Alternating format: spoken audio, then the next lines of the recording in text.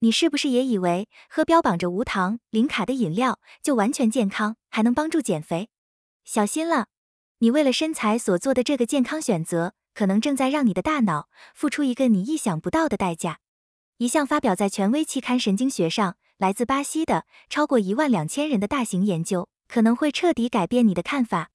研究发现，那些每天摄入超过两份人工甜味剂的人，这里的一份。就相当于一罐无糖汽水或一杯调味酸奶，他们的大脑出现了明显的加速衰老。这个代价有多大呢？研究将其量化，相当于让你的大脑额外衰老了整整一点六年，并且研究还特别调查了市面上常见的甜味剂，点名指出像阿斯巴甜、糖精、安赛蜜以及赤藓糖醇、木糖醇等糖醇类都与这个风险有关。